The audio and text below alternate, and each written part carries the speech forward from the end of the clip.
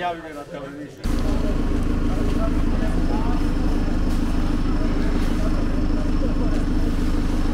Vidimo ovaj vatrogasci i volonteri pune vreće, kakva je situacija na terenu?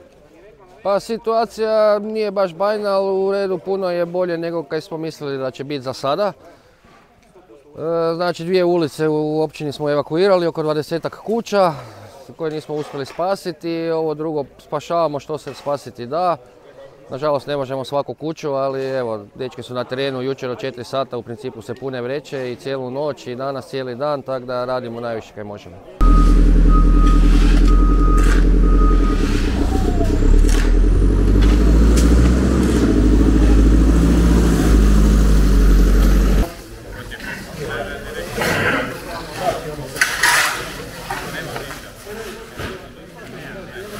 Evo 250 kubika, cirka 250 kubika pjeska je utovareno u vreće, a ljudi uvijek treba, znači mi smo sad već polako i umorni i ne, ne može ipak čovjek 24 sata konstantno biti u pokretu, tako da ljudi uvijek se mogu javiti i doći ovdje pomoći nama puniti vreće, tako da mi možemo biti na terenu, obilaziti i pomagati ljudima e, kaj treba. E, Svaki DVD drži svoje područje, kako to ide?